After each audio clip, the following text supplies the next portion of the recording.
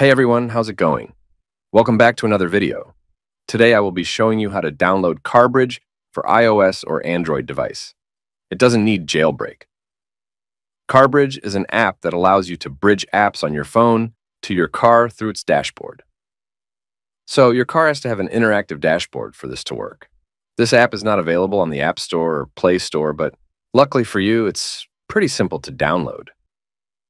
So just stay tuned and you'll be able to download it. CarBridge is this really unique app that allows you to put apps into your car that are not normally supported by the CarPlay interface. This could be HBO, Facebook, Spotify, Snapchat, anything like that. So I'm going to show you guys how to download it, and it's really cool because this stuff will never be in CarPlay, but it can be brought into your car using CarBridge. It is super easy, and I have had zero problems with it whatsoever. I'm going to show you guys how to download it.